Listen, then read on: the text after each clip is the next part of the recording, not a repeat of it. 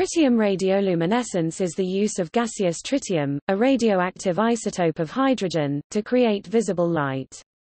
Tritium emits electrons through beta decay and, when they interact with a phosphor material, light is emitted through the process of phosphorescence. The overall process of using a radioactive material to excite a phosphor and ultimately generate light is called radioluminescence. As tritium illumination requires no electrical energy, it has found wide use in applications such as emergency exit signs, illumination of wristwatches, and portable yet very reliable sources of low-intensity light which won't degrade human night vision. Gun sights for night use and small lights which need to be more reliable than battery-powered lights, yet not interfere with night vision or be bright enough to easily give away one's location, used mostly by military personnel fall under the latter application.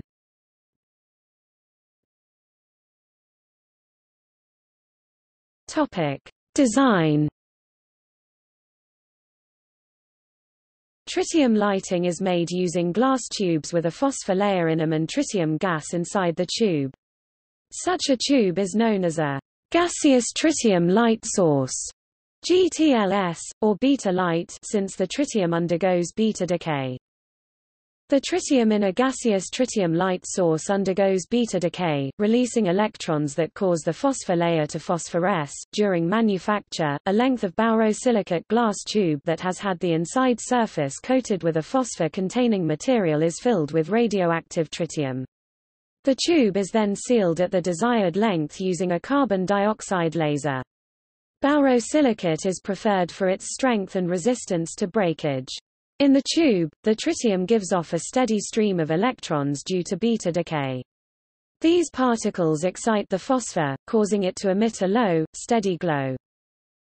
Tritium is not the only material that can be used for self-powered lighting. Radium was used to make self-luminous paint from the early years of the 20th century until approximately 1970. Promethium briefly replaced radium as a radiation source. Tritium is the only radiation source used in radioluminescent light sources today. Various preparations of the phosphor compound can be used to produce different colors of light. Some of the colors that have been manufactured in addition to the common phosphors are green, red, blue, yellow, purple, orange, and white. The GTLSs used in watches give off a small amount of light, not enough to be seen in daylight, but enough to be visible in the dark from a distance of several meters. The average such GTLS has a useful life of 10 to 20 years.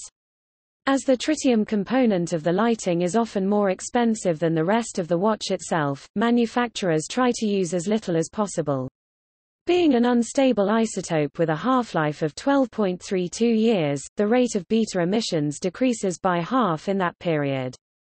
Additionally, phosphor degradation will cause the brightness of a tritium tube to drop by more than half in that period. The more tritium that is initially placed in the tube, the brighter it is to begin with, and the longer its useful life. Tritium exit signs usually come in three brightness levels guaranteed for 10, 15, or 20-year useful life expectancies. The difference between the signs is how much tritium the manufacturer installs. The light produced by GTLSs varies in color and size. Green is usually the brightest color and white the least bright. Sizes range from tiny tubes small enough to fit on the hand of a watch to ones the size of a pencil. Large tubes 5 mm diameter and up to 100 mm long are usually only found in green, and can surprisingly be not as bright as the standard 22.5 mm by 3 mm sized tritium. This smaller size is usually the brightest and is used mainly in keychains available commercially.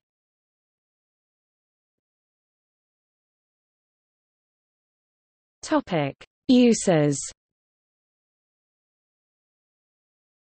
These light sources are most often seen as permanent illumination for the hands of wristwatches intended for diving, nighttime, or combat use.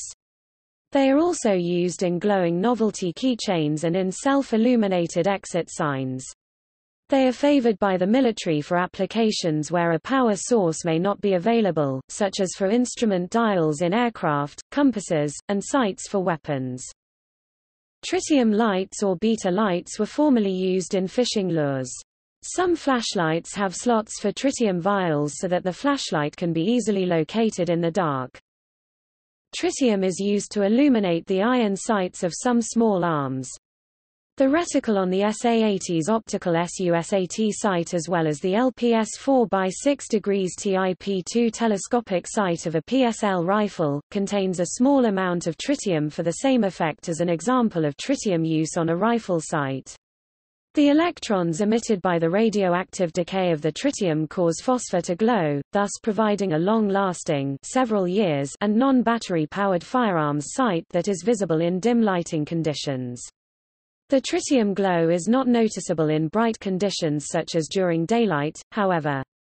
As a result, some manufacturers have started to integrate fiber optic sights with tritium vials to provide bright, high-contrast firearms sights in both bright and dim conditions.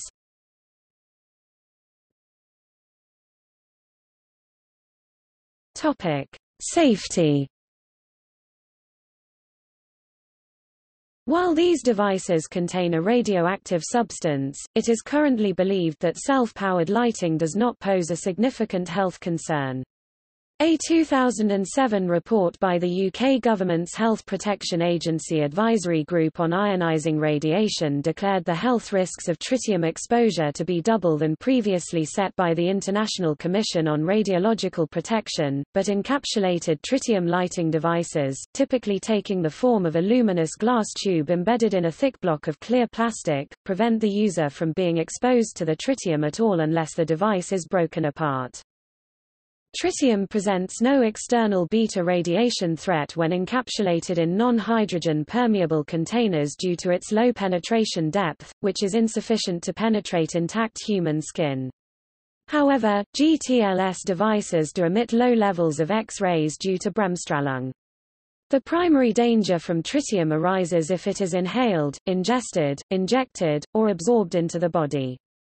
This results in the absorption of the emitted radiation in a relatively small region of the body, again due to the low penetration depth. The biological half-life of tritium the time it takes for half of an ingested dose to be expelled from the body is low, at only 12 days. Tritium excretion can be accelerated further by increasing water intake to 3 to 4 liters per day. Direct, short-term exposure to small amounts of tritium is mostly harmless. If a tritium tube breaks, one should leave the area and allow the gas to diffuse into the air. Tritium exists naturally in the environment, but in very small quantities.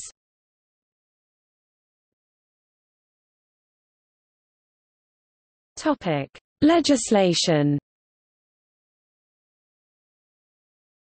Because tritium is used in boosted fission weapons and thermonuclear weapons though in quantities several thousand times larger than that in a keychain, consumer and safety devices containing tritium for use in the United States are subject to certain possession, resale, disposal, and use restrictions. In the U.S., devices such as self-luminous exit signs, gauges, wristwatches, etc. that contain small amounts of tritium are under the jurisdiction of the Nuclear Regulatory Commission, and are subject to possession, distribution, and import and export regulations found in 10 CFR Parts 30, 32, and 110. They are also subject to regulations for possession, use, and disposal in certain states. Luminous products containing more tritium than needed for a wristwatch are not widely available at retail outlets in the United States, they are readily sold and used in the UK and US. They are regulated in England and Wales by environmental health departments of local councils. Tritium lighting is legal in most of Asia and Australia.